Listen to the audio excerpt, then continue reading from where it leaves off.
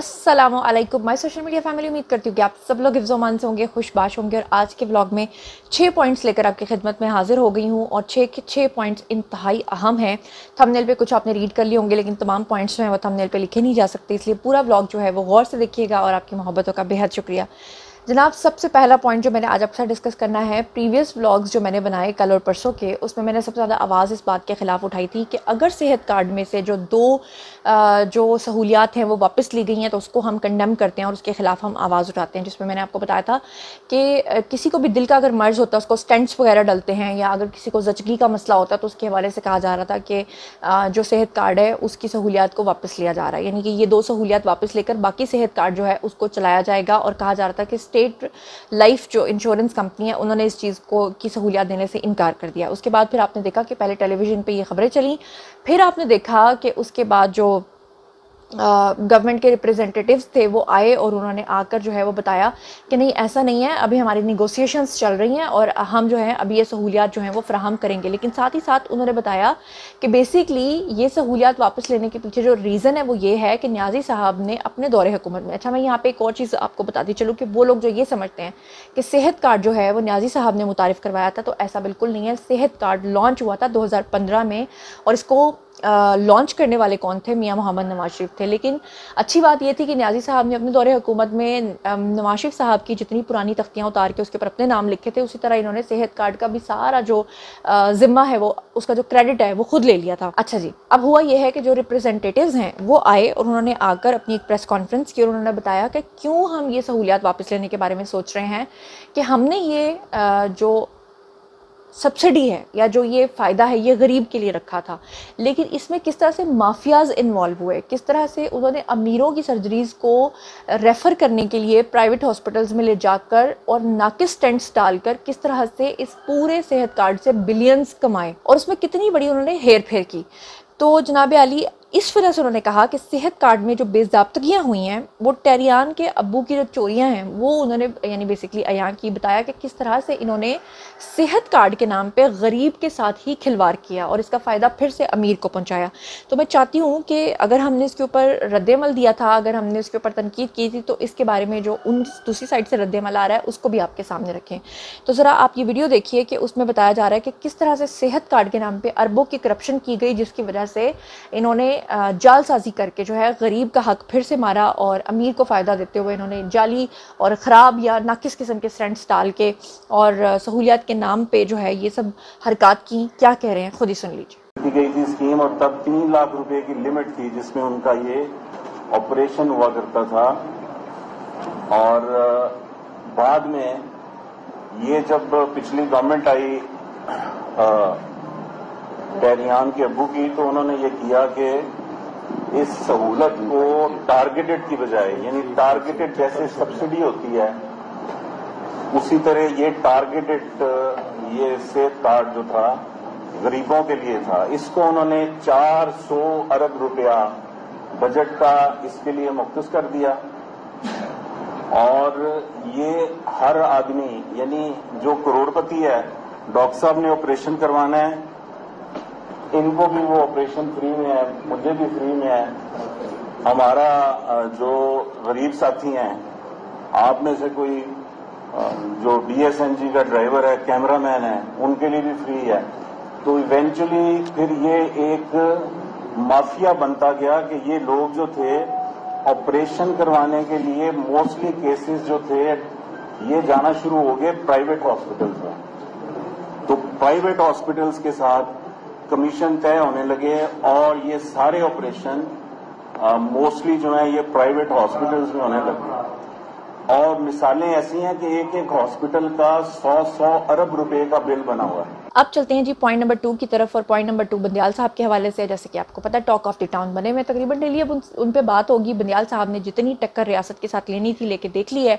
उनको समझ आ गई है कि मेरे सींग जो हैं वो कमज़ोर भी हैं और अब तो मेरे सींग जो हैं वो सितंबर में वैसे ही निकलने वाले हैं और जो मार रहे हैं वो वैसे ही जो है ना पंजा लड़ा के या सींग लड़ा के मेरे सारे सींग उखाड़ फेंकेंगे। तो उसके लिए मैंने आपको बताया था कि बंदयाल साहब अब ये बहाने कर रहे हैं कि वो लंडन जा रहे हैं। और आपको पता है कि पीटीआई के जो खासतौर पर यूथिया हजरात हैं वो लंदन से कितना चिढ़ते हैं। लंदन की सड़कों पे ही उन्होंने नवाज़ शरीफ की गाड़ी के ऊपर जो है कॉफ़ी फेंकी थी। लंदन की सड़कों पे ही उन्होंने मरियम औरंगज़ेब के साथ बदतमीज़ी की थी। लंदन की सड़कों पे ही उन्होंने रेस्टोरेंट के अंदर जाके शायान और उसकी वालदा ने जो आबिद शेर अली हैं, उनके साथ इंतहाई बदतमीज़ी की थी। लंदन की सड़कों पर ही वो नवाज़ शरीफ के घर के बाहर, एवन फ़ील्ड के बाहर, उनके ऑफ़िस के बाहर जाकर जिस तरह से बदतमीज़ियाँ करते हैं तो लंदन जो है वो समझ रहे उनकी छेड़ है। और अब उसी लंदन में जा रहे हैं बंदयाल साहब और बंदयाल साहब जो हैं, वो ये कह रहे हैं कि मुझे तो एक यूनिवर्सिटी की तरफ़ से बुलावा आया असल में बुलावा वहाँ से नहीं आया। असल में तो भागने का एक प्लान है उनका, क्योंकि उनको पता है कि जैसे ही मैं गया, मैं तक क्या हो जाना।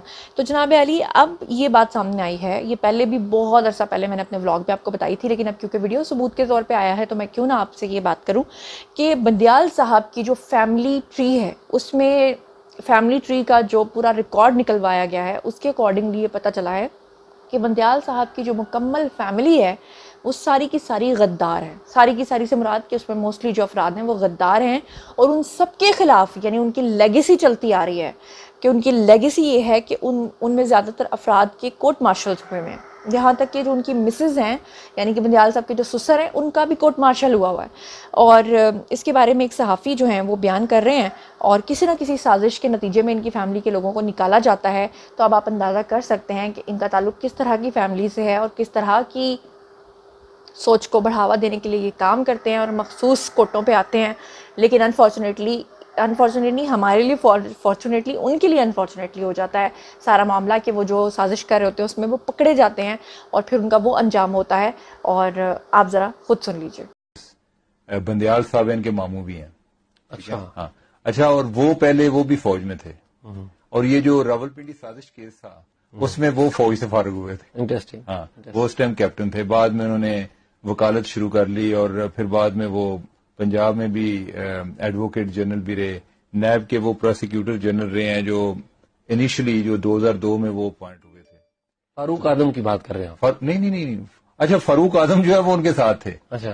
इनके जो फादर इन क्योंकि फारूक आदम भी तो आ, आ, उनको भी रावलपिंडी साजिश केस में वो उसी में थे उसी में थे। जी। इनके जो फादर इन ला है ना जो इनके सुसर हैं जो कोर कमांडर लाहौर के उनका नाम है नवीद रसूल मिर्ज़ा। ठीक है?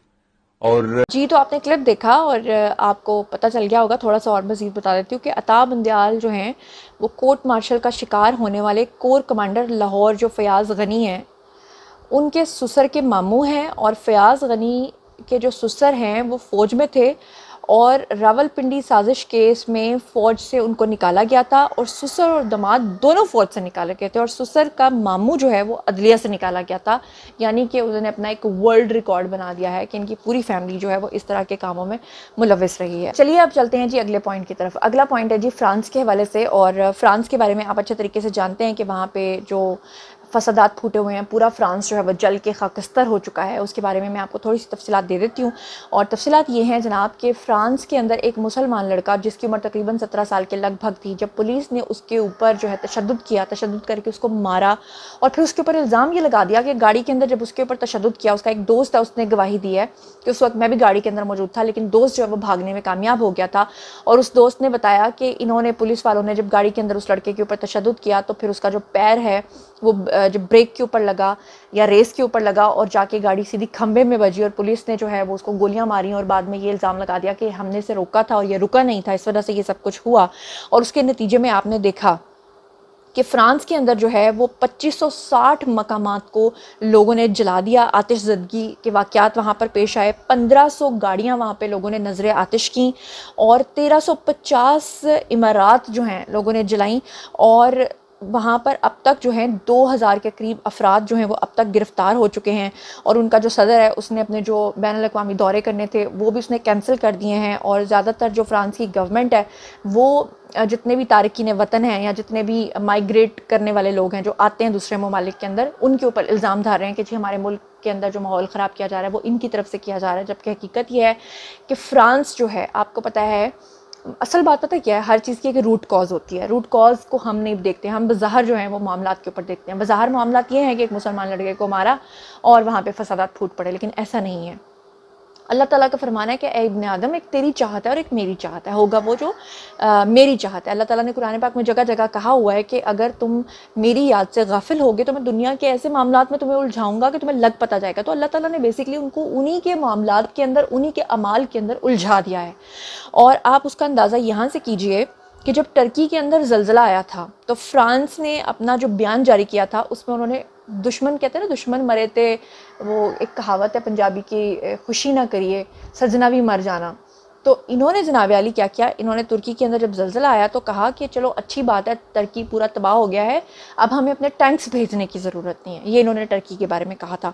और आपको मैं बताऊँ कि साठ की दिहाई में फ़ौजी अलजायर के जो अवाम थे, उनको ये चुन चुन के मारा करते थे और उनको ये उजड़ कहा करते थे, गंवार कहा करते थे। कहा करते थे, ये हमारी सरजमीन पर जीने के लायक नहीं है। फ्रांस का जो गरूर है बेसिकली वो उनको खा गया है। फ्रांस जो है, वो अपने ही अमाल में अब जो है, वो डूब के खुद ही मर जाएगा। ये एक ऐसा टाइटैनिक है, जिसको तबाह होने के लिए किसी को तबाह करने की ज़रूरत नहीं है, खुद तबाह होगा। स्वीडन का भी अंजाम आपको नज़र आ रहा है ओ आई सी के इजलास भी आ गए तो मतलब मुस्लिम उम्मा को इस वक्त इकट्ठे होने की ज़रूरत है, बस इतना करने की ज़रूरत है। बाकी अल्लाह ताला की ज़ात है, वो अच्छे तरीके से जानती है कि उन्होंने इनका क्या अंजाम करना है। अब चलते हैं जी पॉइंट नंबर फोर की तरफ़। पॉइंट नंबर फोर सुनने के बाद तो आपके पैरों के नीचे से ज़मीन निकल जाएगी।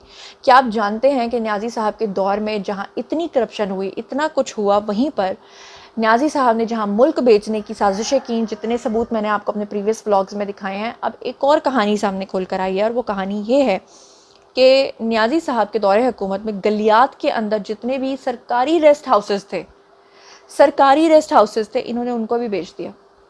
अंदाज़ा कीजिए इन्होंने बीआरटी के साथ क्या किया। अंदाज़ा कीजिए इन्होंने बिलियन ट्री मनसूबे के साथ क्या किया। अंदाज़ा कीजिए इन्होंने शौकत तरीन को कह के आईएमएफ का माहिदा किस तरह सबोटाज किया। अंदाज़ा कीजिए कि इन्होंने गलियात के अंदर जो है, वो रेस्ट हाउसेज ही बेच दिए। और इसका सबूत जो है, वो एक वीडियो की सूरत में आपको दिखाती हूँ।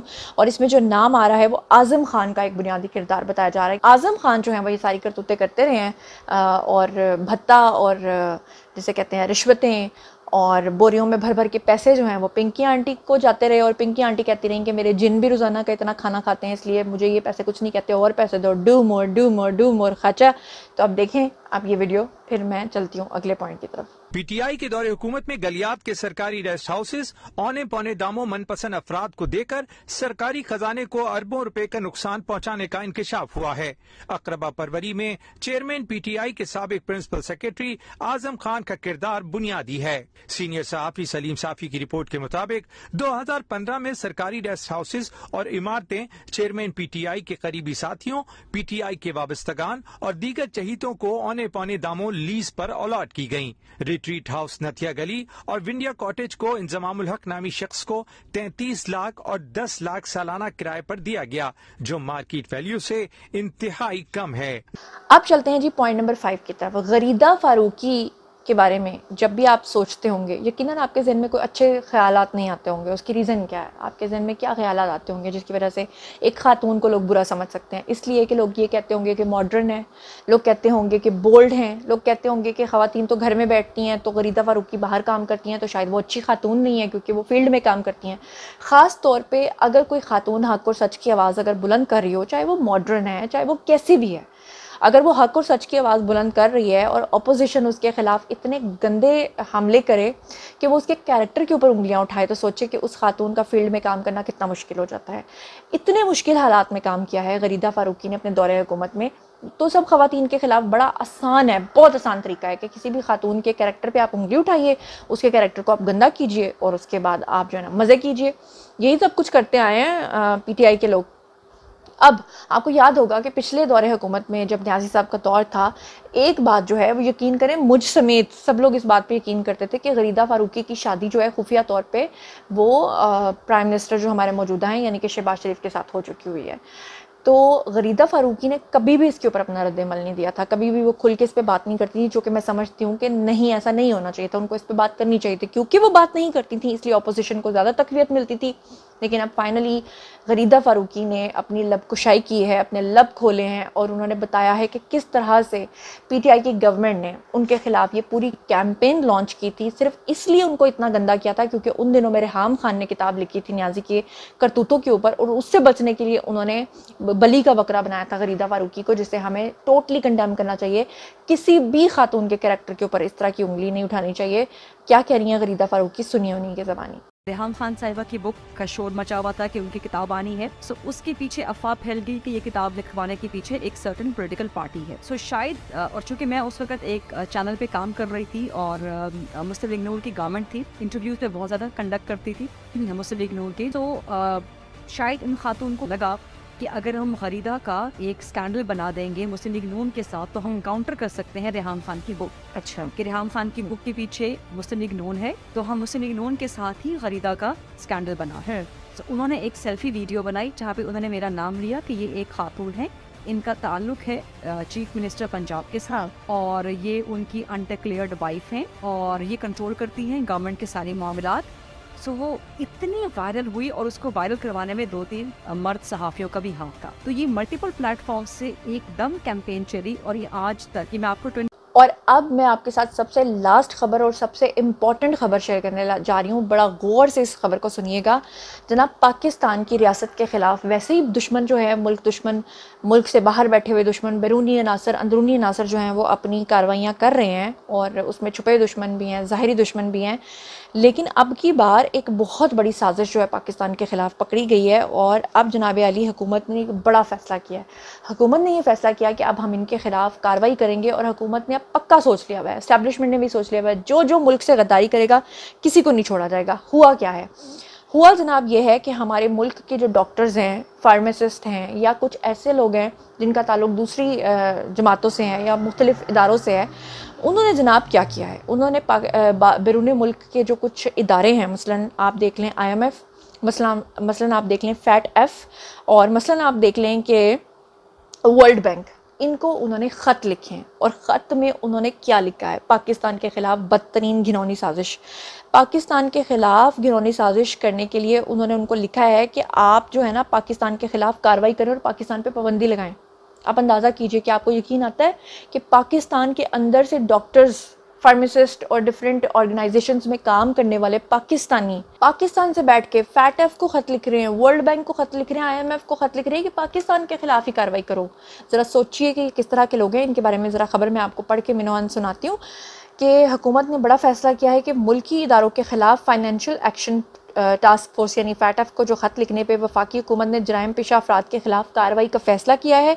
हुकाम के मुताबिक जराइम पेशा अफराद ने फैटफ आलमी मालियाती फ़ंड यानी आई एम एफ़ और वर्ल्ड बैंक को मुल्की इदारों, बिलखसूस drug regulatory authority of Pakistan DRAP के ख़िलाफ़ ख़त लिखे थे, जिसमें उन्होंने पाकिस्तान पर पाबंदियाँ लगाने का मुतालबा किया है।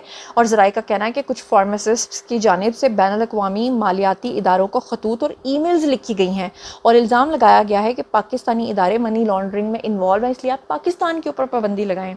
सोचिए, और अब हुकूमत इनके खिलाफ कार्रवाई करने जा रही है। उनके बारे में ये भी पता चला है कि इनमें मोस्टली यूथियाज हैं, और ये भी पता चला है कि अभी अगले हफ़्ते न्याजी साहब ने इनसे जाके खिताब भी करना था कि ये जो है वो इंसानी हकूक़ की तंजीमों के तहत सोचे कितनी बड़ी साजिश है कि एक तरफ़ हमारे मुल्क के डॉक्टर्स फार्मासिस्ट जो हैं, या दूसरे इदारों के जो लोग हैं, वो आई एम एफ़ और वर्ल्ड बैंक को ख़त लिख रहे हैं कि पाकिस्तान पर पाबंदी लगाएँ, पाकिस्तान के अंदर सबके साथ ज़्यादतियाँ हो रही हैं।